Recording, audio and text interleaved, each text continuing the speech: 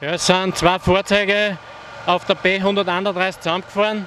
Da sind zwei eingeklemmte Personen in den Fahrzeugen äh, gesessen und wir haben sofort die äh, Menschenrettung vorgenommen, Höflein äh, mit dem ersten Fahrzeug und wir mit dem zweiten Fahrzeug und haben relativ schnell die Personen gerettet. Eine Person äh, ist mit dem Rettungshubschrauber weggekommen, war aber ansprechbar und die zweite Person ist äh, per Rettungsauto ins Spital gefahren worden. Wir waren zwei Feuerwehren, äh, Höflein und Otensheim und wir waren mit 28 Mann im Einsatz und mit fünf Fahrzeugen.